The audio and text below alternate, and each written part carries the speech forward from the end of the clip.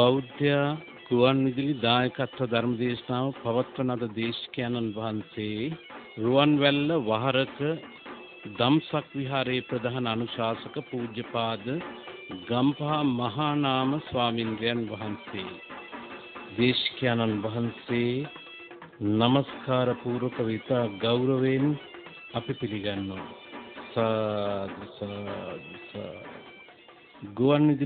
ගුවන් විදුලි ධර්මදේශනාමේ පින්කම සඳහා අද දායකත්වයේ ලබනවා කුරුණෑගල මොරතැන්න විශාකා භාවනා මධ්‍යස්ථානයේ මැද මහනුවර ගෝතමී මෑණියන් වහන්සේ කුණ්ඩසාලේ හේන්වල අංක 35න් දෙක දරණ නිවසේ පදිංචි පී.ජී. සීලවතී මහත්මිය ඇතුළු පවුලේ සියලු දෙනා මැණික්හින්න උඩගම පදිංචි එස්.ජී. ප්‍රේමවතී ගල්මුල්ල මහත්මිය ඇතුළු පවුලේ සියලු දෙනා මහියංගනේ සොරබොර ජනපදයේ හද්දත්තාවේ අංක 10 දරණ නිවසේ පදිංචි ඒ.ජේ.එම්. සාමාවතී ජයසුන්දර මහත්මිය ඇතුළු පවුලේ සියලු දෙනා මහියංගනේ සොරබොර ජනපදයේ හද්දත්තාවේ අංක 12 දරණ නිවසේ පදිංචි ඒ.ජේ.එම්. අනුලා ජයසුන්දර මහත්මිය ඇතුළු පවුලේ සියලු දෙනා ඒ දායකත්වයේ ලැබූ පින්නතුන් වගේම බෞද්ධ ගුවන්විදුලියට සවන් දෙන සමස්ත ශ්‍රාවක පින්නතුන්ට අපි ආරාධනය කර සිටිනවා ධර්ම ශ්‍රවණය සඳහා සූදානම් වන හැටියට පින්වත්නි අපි සාදුකාරයක් පවත්වා තිසරණ සහිත පන්සිල් සමාදන් වීමට අපි নমස්කාරය කියමු. අවසරයි ස්වාමින්ද්‍රයන් වහන්සේ. නමෝ තස් භගවතු අරහතෝ සම්මා සම්බුද්දස්ස. නමෝ තස් භගවතු අරහතෝ සම්මා සම්බුද්දස්ස. නමෝ තස් භගවතු අරහතෝ සම්මා සම්බුද්දස්ස. බුද්ධං සරණං ගච්ඡාමි බුද්ධං සරණං ගච්ඡාමි ධම්මං සරණං ගච්ඡාමි ධම්මං සරණං ගච්ඡාමි සංඝං සරණං ගච්ඡාමි සංඝං සරණං ගච්ඡාමි ဒ ුතියම්පි බුද්ධං සරණං ගච්ඡාමි ဒ ුතියම්පි බුද්ධං සරණං ගච්ඡාමි ဒ ුතියම්පි ධම්මං සරණං ගච්ඡාමි ဒ ුතියම්පි ධම්මං සරණං ගච්ඡාමි ဒ ුතියම්පි සංඝං සරණං ගච්ඡාමි ဒ ුතියම්පි සංඝං සරණං ගච්ඡාමි තතියම්පි බුද්ධං සරණං ගච්ඡාමි තතියම්පි බුද්ධං සරණං ගච්ඡාමි තතියම්පි ධම්මං සරණං ගච්ඡාමි තතියම්පි ධම්මං සරණං ගච්ඡාමි තතියම්පි සංඝං සරණං ගච්ඡාමි තතියම්පි සංඝං සරණං ගච්ඡාමි. සරණාගමනං සම්පුන්නං ආම භන්ති. පානාති පාතා වේරමණී සික්ඛාපදං සමාදියාමි පානාති පාථා වීරමණී සික්ඛාපදං සමාදියාමි අදින්නාදානා වේරමණී සික්ඛාපදං සමාදියාමි අදින්නා දාන වීරමණී සික්ඛාපදං සික්ඛාපදං සමාදියාමි කාමේසු මිච්ඡාචාරා වේරමණී සික්ඛාපදං සමාදියාමි කාමේසු මිච්ඡාචාරා වේරමණී සික්ඛාපදං සමාදියාමි මුසාවාදා වේරමණී සික්ඛාපදං සමාදියාමි। මුසාවාදා වේරමණී සික්ඛාපදං සමාදියාමි। සුරාමේරය මජ්ජපමා දට්ඨානා වේරමණී සික්ඛාපදං සමාදියාමි।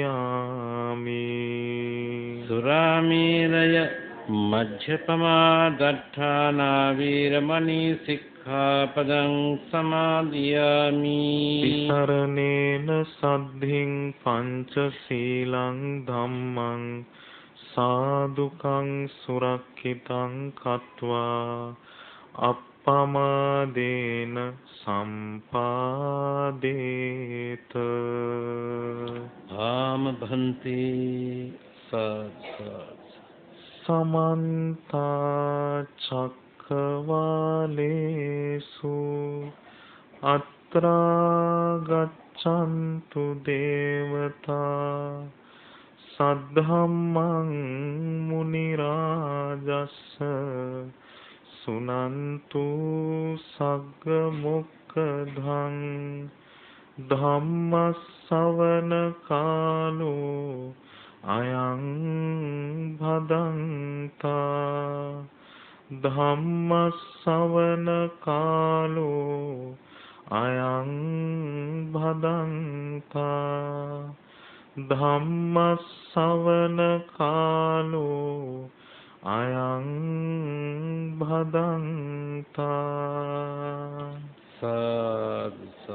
නමෝ තස්ස භගවතෝ අරහතෝ සම්මා සම්බුද්දස්ස කතංච භික්ඛවේ භික්ඛු ධම්මේසු ධම්මානුපස්සී විහෙරති ඉද භික්ඛවේ භික්ඛු ධම්මේසු ධම්මානුපස්සී විහෙරති පංචසු නීවරණේසු කතංච භික්ඛවේ භික්ඛු ධම්මේසු ධම්මානුපස්සී විහෙරති පංචසු නීවරණේසු තී සාදු සාදු. ගරුතර මහා සංඝරත්නයන් අවසරයි. සදහවත් වාසනාවන්ත පින්වත්නි. අදත් ඔබ සූදානම් වෙන්නේ ලෝතර බුදුරජාණන් වහන්සේගේ උතුම් වූ ශ්‍රී සද්ධර්මය ශ්‍රවණය කරන්නයි. දීර්ඝ සංසාර ගමනක ඉපදමින් මැරෙමින් ආපු සංසාරගත සත්වයන් හැටියට අපි හැම දිනාටම මහා භාග්‍යයක්. මෙබඳු ගුවන් විදුලි නාලිකාවක් කල්යාණ මිත්‍ර සම්පත්තියක් බඳුව අප සියලු දෙනාටම নিরතුරුවම ඇසුරු කරන්නට ලැබීම ධර්ම ශ්‍රවණය කරන්නට ලැබීම මේ කල ජීවත් වෙන අප හැම දිනාගේම භාග්‍යයක් වාසනාවක් කොට සලකන්න ඕන. මේ ඉපදෙන මරණ සංසාර දුකින් නිදහස් වෙන ධර්මය යම් මොහොතක කෙනෙකුට කල්යාණ මිත්‍ර සම්පත්තිය තුලින් ශ්‍රවණය කිරීමේ වාග්ය වාසනාව ලැබෙනවද ඒ කෙනාට පුළුවන්කම ලැබෙනවා තමන්ගේ ජීවිතේ අඩුපාඩු හදාගෙන තමන්ගේ ජීවිතය තුළ මේ සසර දුකින් එතර වන නිවන් මාර්ගය දියුණු කරන්න. ඒ සඳහා උපකාර වන උතුම් වූ දහම් කරුණු කීපයක් අද දවසේ මේ ධර්ම දේශනාව තුළ පින්වතුන්ට කියා දෙන්නයි බලාපොරොත්තු වෙන්නේ. ඊට ප්‍රථමයෙන් මා පින්වතුන්ට බුදුරජාණන් වහන්සේ වදාළ උපමාවක් ඇසුරු කරමින් උපමාවක් ඇසුරු කර ගනිමින් යම් දහම් කරුණක් කියා දීලා මේ ධර්ම දේශනාව ආරම්භ කරනවා. පින්වතුනි බුදුරජාණන් වහන්සේ වදාලා ඔන්න ඊටාම දුප්පත් රොඩි කුලයක ඉපදිච්ච එදා වේල කන්න බොන්න නැති ළමයෙක් ඉන්නවා. මේ දරුවට දවසක ආරංචි වෙනවා අන්න අසවල් ගමේ අසවල් රජ පෙළපතෙන් පැවතෙන අසවල් රාජකුමාරයා අසවල් දවසේදී ඔටුනු පළඳිනවා කියලා රජකමට පත් වෙනවා කියලා මේ රොඩි කුලේ ඉපදිච්ච දුකේ දුප්පත් දරුවෙකුට අසන්න ලැබෙනවා. බුදුරජාණන් වහන්සේ වදාලා මේ කාරණාව මේ රොඩි දරුවට ඇහුණට ගානක්වත් නැහැ. මේ කෙනාට යම් ආසාවක් බලාපොරොත්තුවක්වත් ඇති වෙන්නේ නැහැ. අනේ මටත් රජකම ලබන්න නැත්නම් රජ පදවියට පත් වෙන්නේ නැත්නම් කොයිතරම් දෙයක්ද කියලා මේ දරුවට හිතෙන්නේවත් නැහැ. ඒකට හේතුව තමයි රජකම ලබන කිසිම සුදුසුකමක් මේ දරුවා සතුව නැතිවීම. මේ කෙනාට කියනවා નિરાසා ශ්‍රාවකයා කියලා. ඔන්න ඉන්නවා රජ වෙන්න බලාපොරොත්තුවෙන් ඉන්න රජ පෙළපතකින් පැවතෙන රාජකුමාරයෙක්. මේ රාජකුමාරයාටත් ආරංචි වෙනවා ඔන්න අසවල් ගමේ අද නැකතට රජකුමාරියෙක් ඔටුනු පැලැන්දුවා කියලා රජ වෙන්න ඉන්න කුමාරයෙකුට මේක ආරංචි වෙනවා. ආරංචි වුණාට පස්සේ මෙයාට හිතෙනවා අනේ මටත් ඉක්මනට රජ වෙන්න නැත්නම් මටත් ඉක්මනට ඔටුනු පළඳන්න නැත්නම් කියලා බලාපොරොත්තුවක් ආසාවක් මේ කෙනාට ඇති වෙනවා. මෙයාට කියනවා ආසංසා කියලා. ඔන්න මේ රජ කුමාරයා දවසක ඔටුනු පළඳිනවා.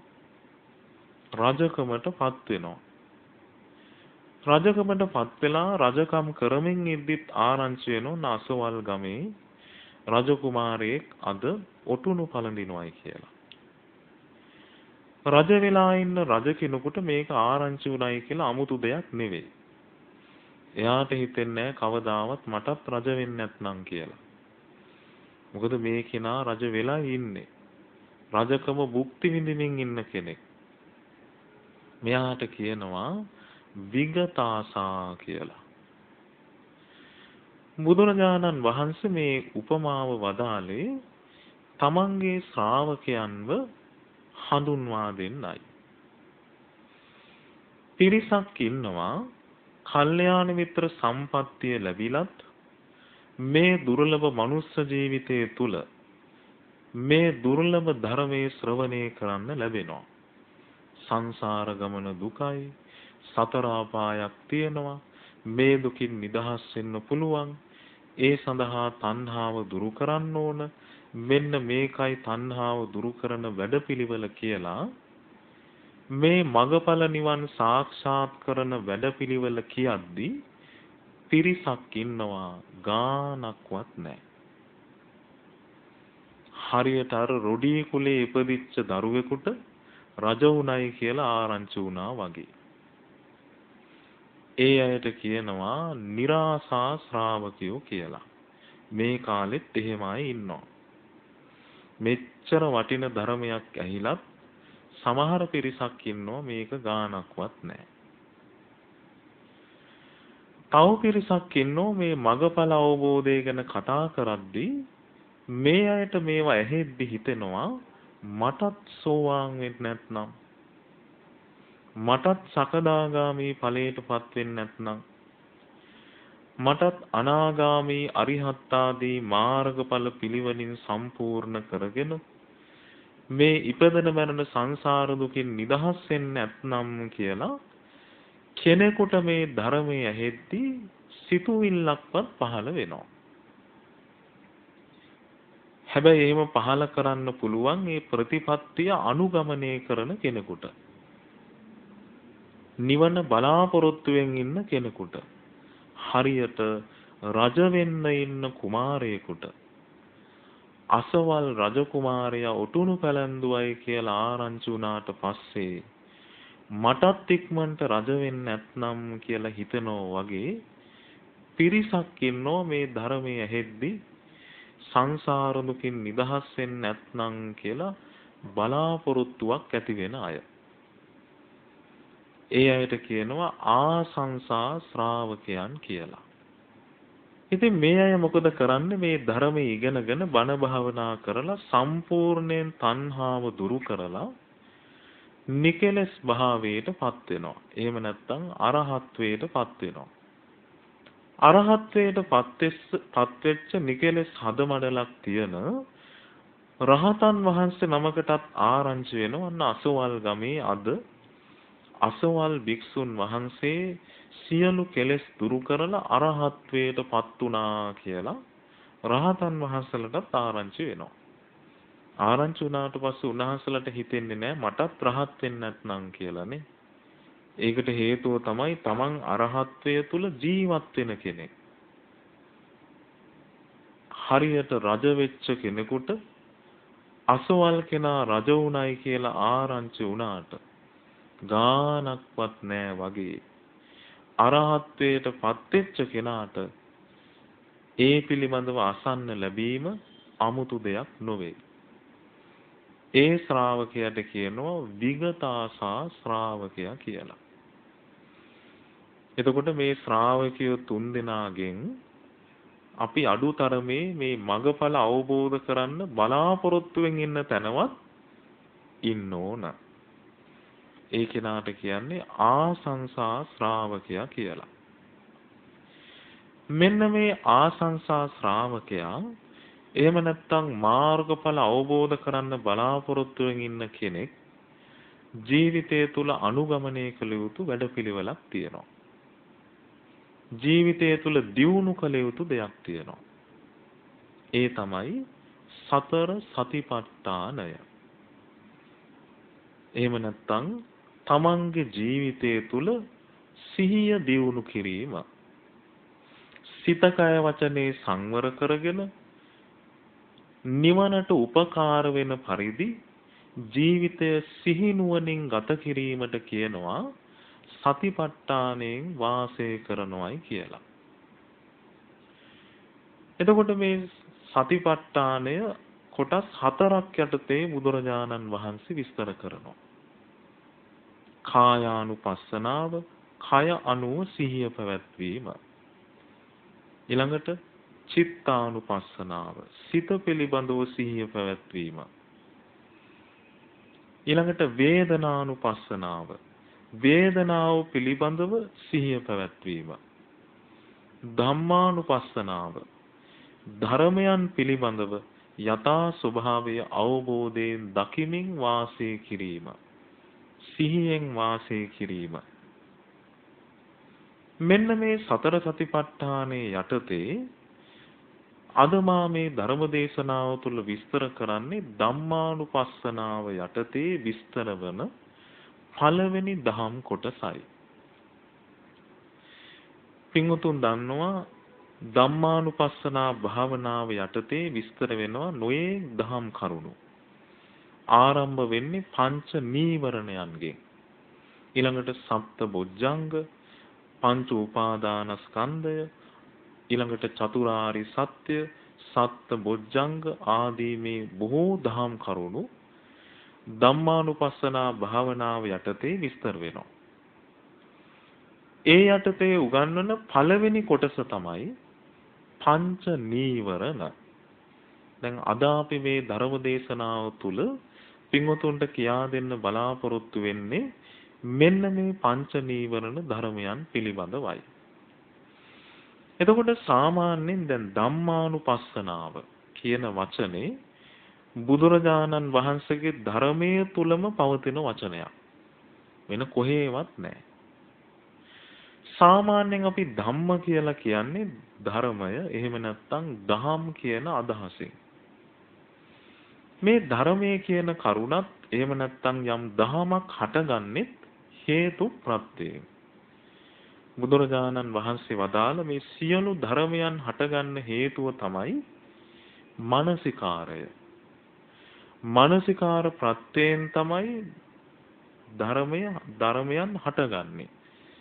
දැන් මේකත් තමන්ගේ සිත තුළ පවත්වන සිතුවිල්ලක්. එහෙම නැත්නම් චේතනාත්මකව පවත්වන දෙයක්.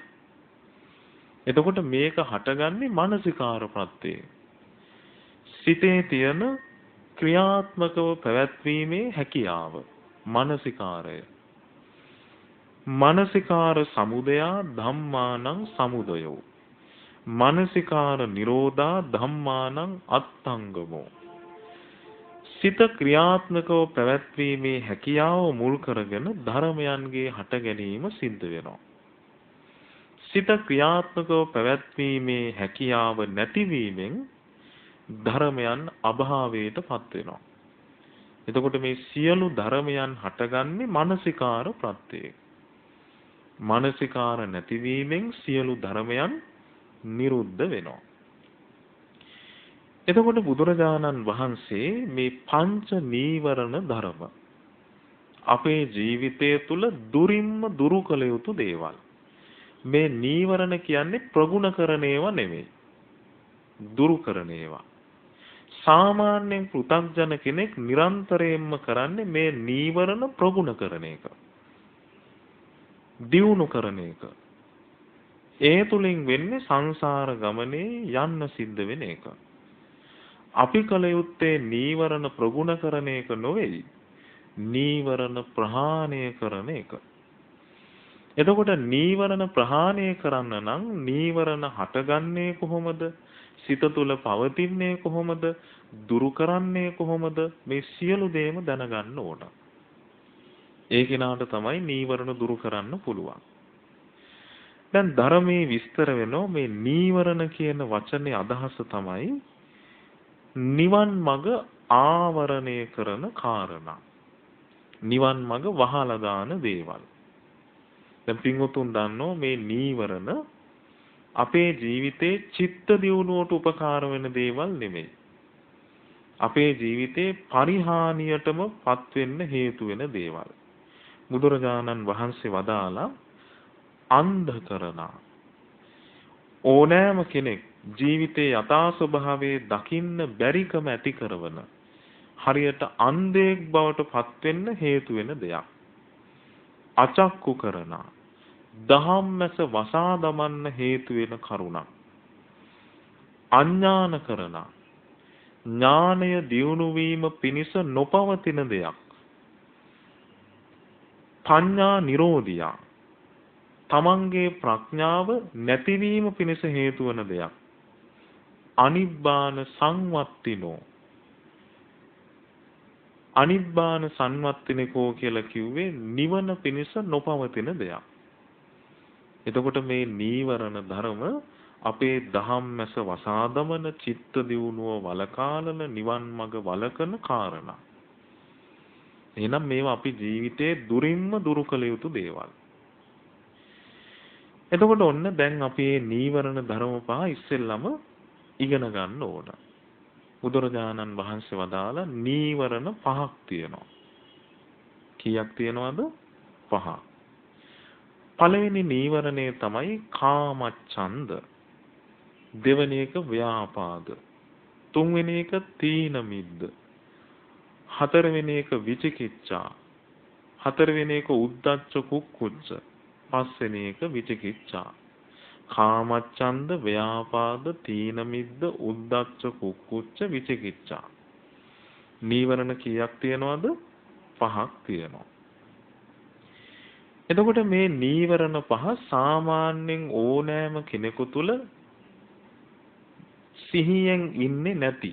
ඒ කියන්නේ අසිහියෙන් ඉන්න සතර සතිපට්ඨානය තුල නැති ඕනම වෙලාවක මේ காரணා පහෙන් එකක් හෝ බලවත්ව පවතිනවා.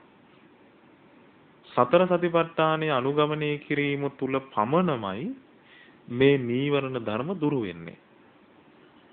එහෙම නැත්නම් සමාධියෙන් සතර සතිපට්ඨානය තුලින් උපදව ගන්න සමාධිය තුලත් මේ නීවරණ ධර්ම తాවකාලිකව යටපත් කිරීමේ හැකියාව පවතිනවා. දැන් අපි මේ නීවරණ ගැන විස්තර වශයෙන් ඉගෙන ගන්නවා. පළවෙනි එක තමයි කාමච්ඡන්දය. ඡන්ද කියලා කිව්වේ කැමැත්ත. කාම කියලා කිව්වේ කාම ගුණ පහක් තියෙනවා. රූප, ශබ්ද, ගන්ධ, රස, පහස. මෙන්න මේ පංච කාම ගුණ කෙරෙහි මේ පංච කාමයන් කෙරෙහි සිත ඇදී යන ස්වභාවයට කියනවා කාමච්ඡන්දය කියලා. ඇහැට පේන රූප, කනට ඇසෙන ශබ්ද, නාසයට දැනෙන ගඳ සුවඳ, දිවට දැනෙන රස, කයට දැනෙන පහස කියන මේ පංච කාමයට හිත ඇදිලා යන ස්වභාවය. එහෙම වෙන්නේ අසිහියෙන් ඉන්න කෙනාට. මෙන්න මේ සිත ඇදිලා යන ස්වභාවය අපි තේරුම් ගන්න ඕන කාමච්ඡන්දය කියන නීවරණය. නිවන් මඟ වසා දමන පළවෙනි කරුණ. දෙවැනි එක තමයි ව්‍යාපාද. මේ කාම ගුණයන් කෙරෙහි හිත ඇදිලා යන ස්වභාවයක් තියෙනවා වගේම මේ රූප ශබ්ද ගන්ධ රස පහස කියන පංචකාමයන් එක්ක ගැටෙන ස්වභාවයකුත් තියෙනවා. ඒකට කියනවා ව්‍යාපාදේ කියලා, තරහ කියලා. අපි ගැටෙන්නෙත් මේ ඇහැට පේන රූපත් එක්ක, කනට ඇසෙන ශබ්දත් එක්ක, නාසයට දැනෙන ගඳ සුවඳත් එක්ක, දිවට දැනෙන රසත් එක්ක, කයට දැනෙන පහසත් එක්ක. ඔන්න මේ ගැටෙන ස්වභාවයට කියනවා ව්‍යාපාදේ කියලා. ඊළඟට තුන්වෙනි නීවරණය තමයි තීන මිද්ද. කායික මානසික අලසකම. එතකොට මේ කායික මානසික අලසකම ඇති වෙන්නේ සතර සතිපට්ඨානයේ තුල නොයදීම නිසායි. අසීයෙන් ඉන්න කෙනාට තමයි මේ කම්මැලිකම ඇති වෙන්නේ. නිදි මත, බත් මත, ඇඟිලි ඇඟමැලි කැඩීම, ඈනුම් ඇරීම ආදී මේ කම්මැලිකමත් එක්ක එන නිදි මතත් එක්ක එන දේවල් ජීවිතයේ අසිහියෙන් ඉන්න සතිපට්ඨානයේ දියුණු නොකරන කෙනෙකුට ඇති වෙන දේවල්. ඔන්න කායික මානසික අලසකම. නීවරණයක්. නිවන් මඟ වසා දමන කරුණක්. ඊළඟ එක තමයි උද්දච්ච කුක්කුච්ච. සිත නොයෙක් අරමුණු ඔස්සේ විසිරීමත් ඒ වගේම නොයෙක් දේවල් ගැන පසුතැවීමත් මෙන්න මේ විසිරෙන පසුතැවෙන ස්වභාවයත් ජීවිතේ පරිහානියට හේතු වෙන දෙයක්. ඊළඟට පස්වෙනි කාරණාව තමයි විචිකිච්ඡා. මේ සද්ධර්මයේ ගැන කුසල ධර්ම ගැන ඇති වෙන සැකය. කුසල ධර්මයන් කෙරෙහි කෙනෙකු තුල පවතින අවිශ්වාසය. මේ නිවන් මඟ පිළිබඳව පවතින සැකය. හඳුන්වනවා විචිකිච්ඡාව කියලා. එතකොට මේ විචිකිච්ඡාව කියන එක නීවරණයක් හැටියටත් විස්තර වෙනවා. පිඟුතුන්ට මතක ඇති සංයෝජනයක් හැටියටත් විස්තර වෙනවා. මේ සසරට ඇඳ බැඳ තබන කරුණක් හැටියටත් විස්තර වෙනවා. එතකොට ඔන්න දැන් අපි ඉගෙන ගත්ත නීවරණ පහක්. කාමයන් කෙරෙහි හිත ඇදී යාම කාමච්ඡන්දය. කාමයන් එක්ක සිතේ ගැටෙන ස්වභාවය ව්‍යාපාදය. කායික මානසික අලසකම තීන මිද්දය. සිතේ විසිරීම පසුතැවීම උද්දච්ච කුක්කුච්ච. කුසල ධර්ම කෙරෙහි ඇතිවෙන සැකය විචිකිච්ඡාව. එතකොට මේ නීවරණ පහ බුදුරජාණන් වහන්සේ වදාළ අකුසල් ගොඩක්. අපේ ජීවිතේ රාග, ద్వේෂ, මෝහාදී කෙලෙස් සෑම මොහොතකම හටගැනීමෙන් අකුසල් රාශියක් নিরතුරුවම වැඩෙන්නේ මෙන්න මේ නීවරණ ධර්ම නිසායි. ඒ නිසා අපි මේ නීවරණ හඳුනාගෙන ඒ හට ගැනීමත් නැතිවීමත් දැනගෙන ඒ දේවල් දුරු කරන්න මහන්සි ගන්න ඕන. දැන් අපි ඉගෙන ගන්නවා කාමච්ඡන්ද නීවරණය හටගන්න හේතුව. බුදුරජාණන් වහන්සේ නීවරණ පහන කියන සූත්‍රයේදී විස්තර කළා මේ නීවරණයන් හටගන්න හේතුවත් නීවරණයන් නිරුද්ධ වෙන හේතුවත්. නිරුද්ධ කරන ආකාරයත් හටගන්නා ස්වභාවයත් කියන මේ සමුදය සහ නිරෝධය කියන කාරණා දෙක බුදුරජාණන් වහන්සේ අංගුත්තර නිකායේ නීවරණ පහන කියන සූත්‍ර දේශනාවේදී විස්තර කරලා තියෙනවා. කොහොමද? කාමච්ඡන්දය කියන නීවරණය. මේ කාමච්ඡන්දය කියන නීවරණය හටගන්න හේතු වෙනවා කාරණා දෙකක්. පළවෙනි කාරණාව තමයි අසුබ නිමිත්තක් සුබ වශයෙන් පිළිගැනීම. ඒ කියන්නේ මේ ලෝකේ පවතින අසුබ ස්වභාවයෙන් පවතින දේ සුබ වශයෙන් අරමුණක් හැටියට හඳුනා ගැනීම. දෙවැනි කාරණාව තමයි අයෝනිසෝ මානසිකාරය.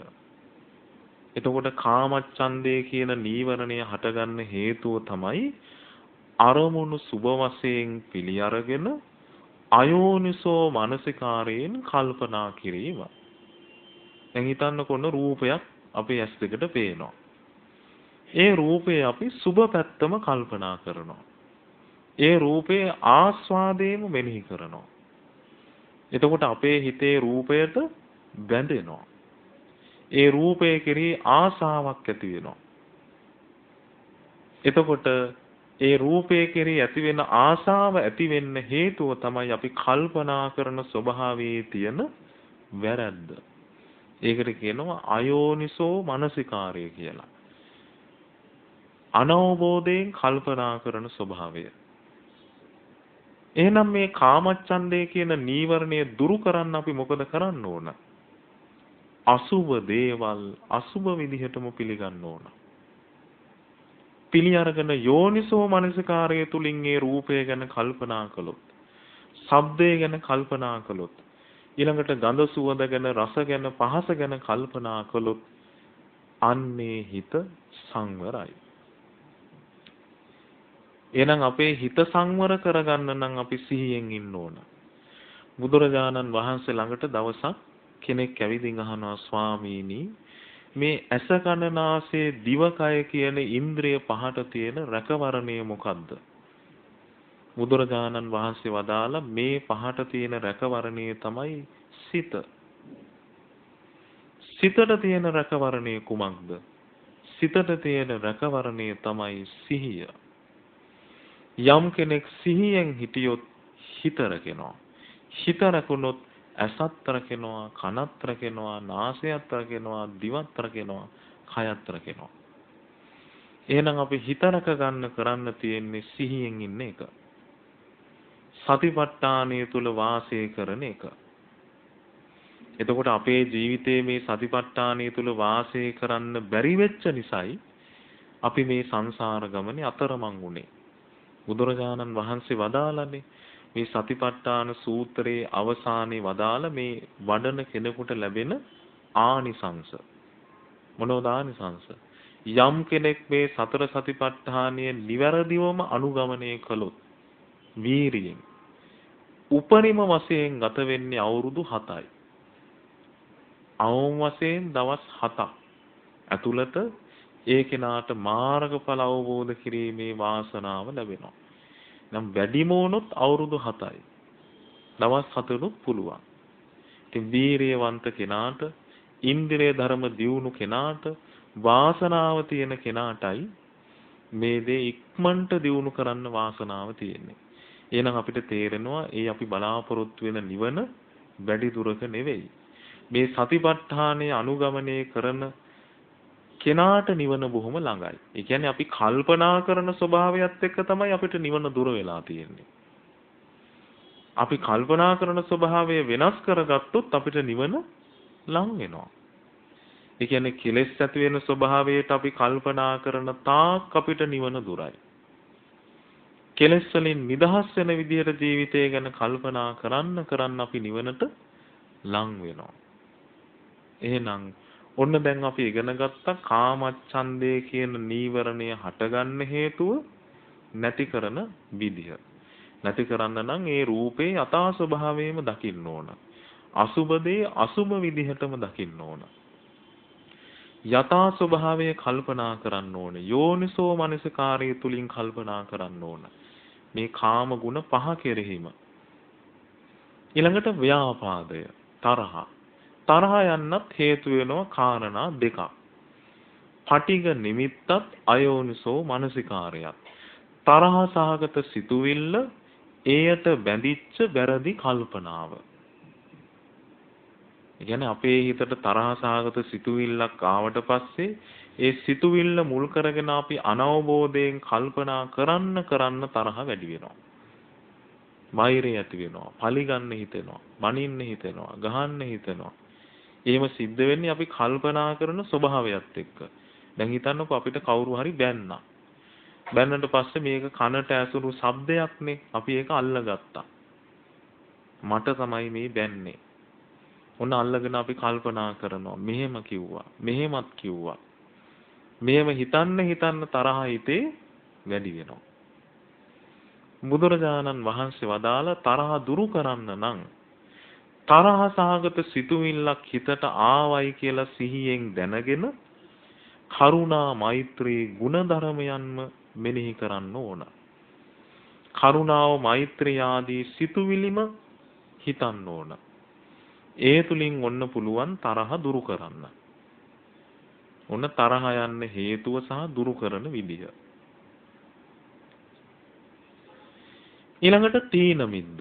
කායික මානසික අලසකම. මේ අලසකම ඇති වෙන්න හේතුව තමයි සතර සතිපට්ඨානය තුල අපි නොයෙදීම.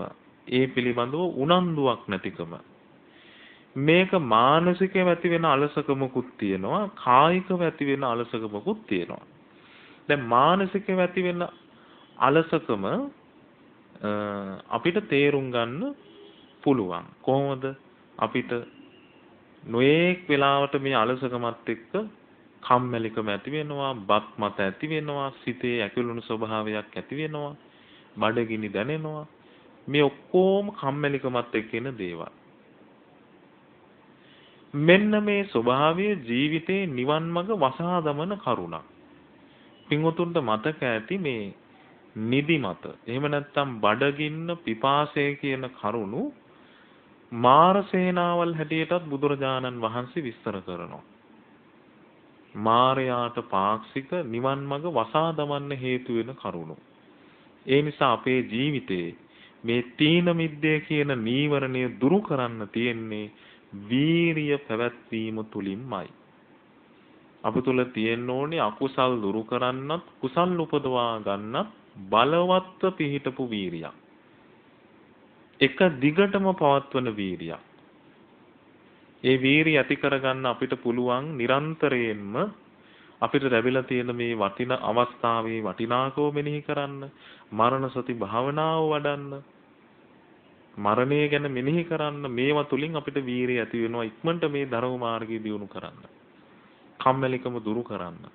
උන්වහන්සේ වදාළේ හිස ගිනිගත් කෙනෙක් ඒ ගින්න නිවන්න මහන්සි ගන්නවටත් වැඩිය වීරියක්. සෝවාන් වෙන්න කෙනෙකු තුල ඇති වෙන්න ඕන. ඉතින් මේ වීරිය ඇති වෙච්ච දවසට අපිට දුකින් නිදහස් වෙන්න පුළුවන්. ඊළඟට උද්දච්ච කුක්කුච්ච සිතේ විසිරීම සහ පසුතැවීම මේ කාරණා දෙක ඇති වෙන්න හේතුව තමයි සිතේ තියෙන නොසන්සුන් බව. සිතේ සංවරකමක් නැතිකම. ඔහේ හිතුමනා අපිට කල්පනා කරනවා. දැන් පින්වතුන් දන්නවනේ මේ සංසාර ගමනේ අපි යන්න හේතුව හිතට වහල් වෙච්ච ජීවිතයක් ගත කිරීම. හිතින් ඉල්ලන්නේ මොනවද? ඒව පෙන්නනවා. අහන්න ඕනේ කියන්නේ මොනවද? අහන්න දෙනවා. නේ ඊළඟට සුවඳ විඳින්න ඕනේ මොනවද අරගෙන දෙනවා හිත කියන කියන විදිහට අපි ජීවත් වෙච්ච අය හිතට වහල් වෙච්ච අය දැන්වත් අපි ධර්මයට අනුව හිත මෙල්ල කරන්න ඕන හිතට ඕන විදිහට ජීවත් වෙන කෙනාට නිවන් දකින්න බෑ ධර්මයට ඕන විදිහට හිත හදන්න ඕන අන්නේ හිත හදන්න නම් ඒ කෙනා හිත සංසිඳව ගන්න භාවනාවක් දියුණු කරන්න ඕන. හිතේ සමාධියක් ඇති කරගත්තොත් පමණයි මේ සිත විසිරෙන පසුතැවෙන ස්වභාවයෙන් නිදහස් වෙන්න පුළුවන්. දැන් බුදුරජාණන් වහන්සේ වදාළ අකුසලයන්ගෙන් වෙන් වෙලා කාමයන්ගෙන් වෙන් වෙලා සිතේ ඇතිවෙන සමාධිය තුල කෙනෙකුට ඔන්න ජීවිතයේ යථාර්ථය දකින්න පුළුවන්. ඒ නිසා පින්වතුනි අපේ ජීවිතේ අපි සමත විදර්ශනා භාවනාවන් දියුණු කරමින් සිත සංසිඳුවා ගන්න මහන්සි ගන්න ඕන. ඊළඟට අවසාන නීවරණය තමයි විචිකිච්ඡාව. සැකය. සැකේ ඇති වෙන්න හේතුව තමයි අනවබෝධයෙන් කල්පනා කිරීම. අපිට හිතන හිතන විදිහට හිතන එක. මේ සැකය දුරු කරන්න තියෙන්නේ ධර්මයේ ඉගෙනගෙන ධර්මඥානයක් ඇති කරගෙන ඒ ධර්මඥානය තුලින්ම කල්පනා කිරීම තුලින් පමණයි. ශ්‍රද්ධාවක් උපදෝගෙන ඒ ශ්‍රද්ධාව තුලින් ඇති කරගත්ත ධර්මඥානය තුලින් කෙනෙක් ජීවිතය ගැන කල්පනා කරනවා නම් එයාට කුසල් දහම් ගැන සැකයක් ඇති වෙන්නේ නැහැ. එහෙනම් මේ සැකේ දුරු කරන්න තියෙන්නේ ශ්‍රද්ධාව තුලින්මයි. ධර්මඥානය තුලින්මයි. ජීවිතය අවබෝධයෙන් කල්පනා කිරීම තුලින්මයි මේ සැකය කියන නීවරණය දුරු කරන්න පුළුවන්. දැන් එතකොට අපි ඉගෙන ගත්ත මේ නීවරණයන් හටගන්න හේතුව ඊළඟට මේ නීවරණයන්ගෙන් නිදහස් වෙන විදිහ. එතකොට මේ නීවරණයන්ගෙන් නිදහස් වෙච්ච හිතට කියනවා සමාධිගත සිත කියලා. දැන් බුදුරජාණන් වහන්සේ වදාලා සිතේ සමාධියක් ඇති වෙන්න නම් මේ නීවරණ ධර්ම යටපත් කරන්න ඕන. අන්නේ නීවරණ ධර්ම යටපත් කරපු කෙනාට තමයි ජීවිත යථාර්ථය දකින්න පුළුවන්. හරියට දැන් සෙලවෙන ජලයක ඇතුළ පේන්නේ නැහනේ. ජලයේ නිශ්චලව තියෙනවා නම් තමයි ඇතුලේ තියෙන ඒවා හොඳට පේන්නේ. ඒ වගේ අපේ හිතේ මේ නීවරණ වලින් පිරීලා තියෙනකන් අපිට ජීවිතේ අනිත්‍ය දකින්න බෑ. දුක දකින්න බෑ. අනාත්මය දකින්න බෑ.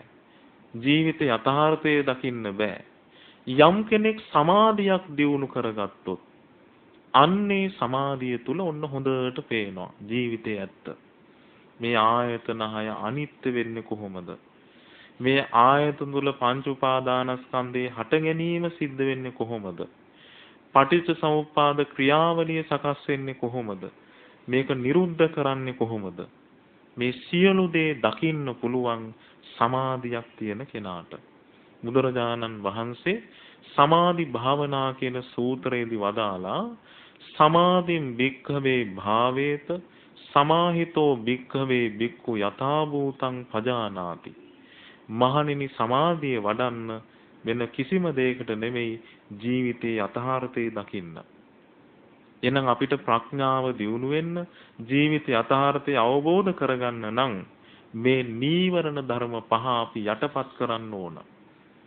తాවකාලිකව යටපත් කරලා ඇති කරගන්න පුළුවන් සමාධිය හෝ අපි ඇති කරගන්න ඕන ඒ තුලින් අපිට පුළුවන් විදර්ශනාව තුලින් ස්ථිරවම මේ නීවරණ ධර්ම ප්‍රහාණය කරලා දාන්න. ඒ තාක් අපිට සිද්ධ කරන්න පුළුවන් සමත භාවනාවක් තුලින් తాවකාලිකව යටපත් කරන එක විතරයි. දැන් ගෙදරක උනත් රණ්ඩුවක් වුණාට පස්සේ අපි කියන්නේ යාන්තම් සමතේකටපත් උනායි කියලානේ.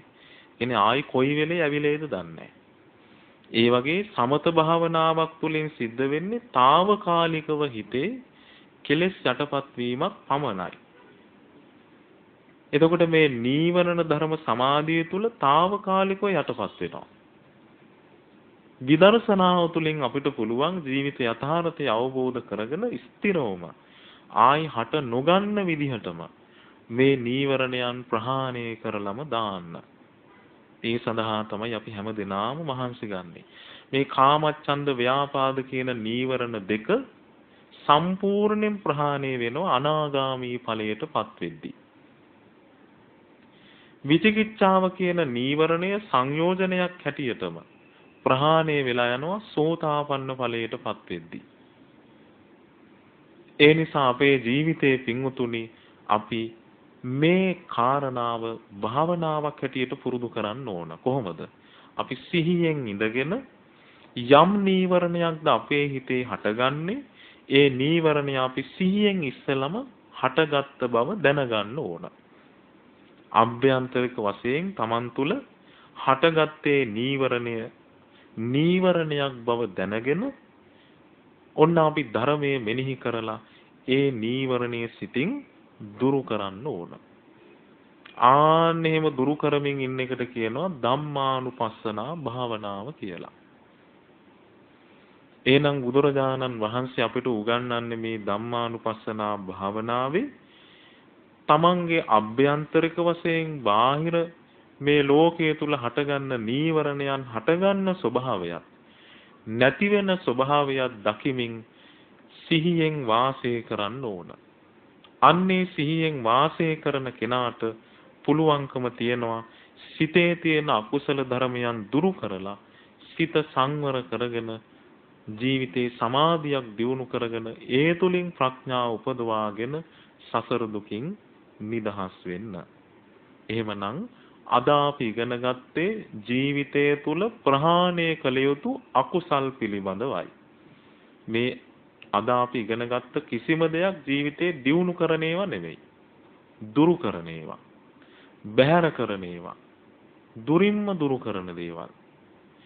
ඉතින් අපි ඉගෙන ගත්ත මේ නීවරණ ගැන, නීවරණයන්ගේ හට ගැනීම ගැන, නැතිවීම ගැන. අපේ නිවන් මඟ වසාදමන, නිවන් මඟ වලකාලන, අපේ ජීවිතයේ අන්ධයෙක් බවට පත් කරන දහම්මැස වසාදමන මේ අකුසල් ධර්මයන් අපේ ජීවිතේ දුරු කරගෙන নিরතුරුවම අපි සිහියෙන් වාසය කරමින් මේ නීවරණයන් දුරු කරන්න මහන්සි ගනිමින් සතර සතිපට්ඨානයේ ධම්මානුපස්සනා භාවනාව පුරුදු කරන්න ඕන. ඉතින් ඒ සඳහා පින් උතුම්ට මේ උතුම් ධර්ම දේශනාව උපකාර වේවා කියලා සාදු කියලා ප්‍රාර්ථනා කරගන්න. දැන් අපි සූදානම් වෙන්නේ මේ උතුම් ධර්ම දේශනාවෙහි දායකත්වයේ දරූ පින් උතුම් වෙනුවෙන් පුණ්‍යානුමෝදනා සිදු කරන්නයි.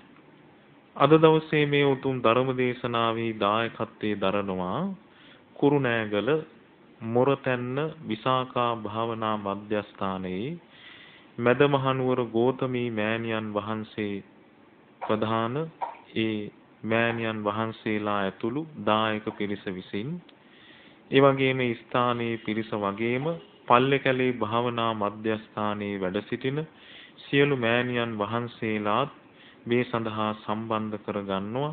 මේ හැම දිනාගේම බලාපොරොත්තුව වහවහ චතුරාරි සත්‍ය අවබෝධයේ පිණසම මේ උතුම් ධර්ම දානමය පින්කම හේතු වාසනා වේවා කියන බලාපොරොත්තුවයි.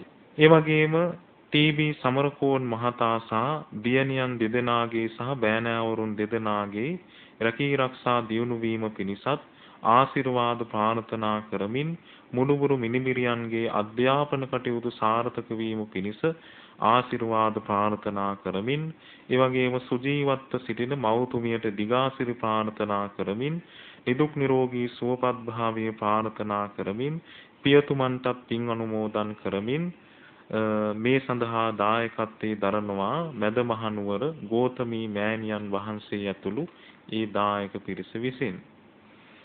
ඒ වගේම බලාපොරොත්තු වෙනවා මේ ධර්ම දේශනාව පැවැත්වීම තුළින් කුණ්ඩසාලේ හේන්වල අංක 35න් දෙක නිවසේ පදිංචි පී.ජී. සීලවතී මහත්මිය විසින් දායකත්වයේ දරනවා මියගිය පියසිරි ස්වාමි පුරුෂයාණන්ට පින් අනුමෝදන් කිරීමටත් ඒ වගේම සහන් කවීස පුතණුවන්ගේ උපන්දිනේ නිමිති කරගෙන ආශිර්වාද ප්‍රාර්ථනා කිරීමටත් සවනි තිලකා අශෝකා හේමලතා සහ දූ දරුවන්ගේ රැකී ආරක්ෂා දියුණු වීම පිණිසත් සීලවතී මෞතුමියට ධර්ම අවබෝධය ඇතුළු නිදුක් නිරෝගී සුවපත් භාවයේ ප්‍රාර්ථනා කරමින් ඒ වගේම මුණුබුරු මිනිබිරියන්ගේ අධ්‍යාපන කටයුතු සාර්ථක වීම පිණිස ආශිර්වාද ප්‍රාර්ථනා කරමින් මේ ධර්ම දේශනාවෙහි දායකත්වයේ දරනවා කුණ්ඩසාලේ හේන්වල පදිංචි පී.ජී. සීලවතී මහත්මිය විසින්. ඒ වගේම මේ ධර්ම දේශනාවෙහි තවත් දායකත්වයක් දරනවා මණික් හින්න උඩගම පදිංචි එස්.ජී. ප්‍රේමාවතී ගල්මුල්ල මහත්මියට නිදුක් නිරෝගී සුවපත් භාවයේ චිරජීවනයේ ප්‍රාර්ථනා කරගනිමින් දියණියන්ගේ සහ බෑනාවරුන්ගේ දරුවන්ගේ රැකී ආරක්ෂා දියුණුවට ආශිර්වාද ප්‍රාර්ථනා කරමින් මියගිය ස්වාමපුරුෂයාණන්ට පින් අනුමෝදන් කිරීමේ බලාපොරොත්තු ඇතිව තමන්ගේ ජීවිතයටත් පින් අනුමෝදන් කරමින් නිවන් ප්‍රාර්ථනා කරගෙන මෙහි දායකත්වයේ දරනවා උඩගම මණික්හින්න පදිංචි එස්.ජී. ප්‍රේමාවතී ගල්මුල්ල මහත්මිය ඇතුළු පිරිස විසින්. ඒ වගේම මේ ධර්ම දේශනාවෙහි දායකත්වයේ දරනවා මයංගනේ සොරබොර ජනපදයේ හද්දත්තාවේ අංක 10 නිවසේ පදිංචි ඒ.ජේ.එම්. සාමාවතී ජයසුන්දර මහත්මිය ඇතුළු ඒ පිරිස විසින් තම මෑණියන් වන ඇන්නම් උක්කුමැණිකා මෞතුමියට නිරෝගී සුවය සහ දීර්ඝායුෂ ප්‍රාර්ථනා කිරීමටත් මේ වසරේ 5යි 21 වන දිනට උපන් දිනයේ යෙදෙන ඒ.එම්.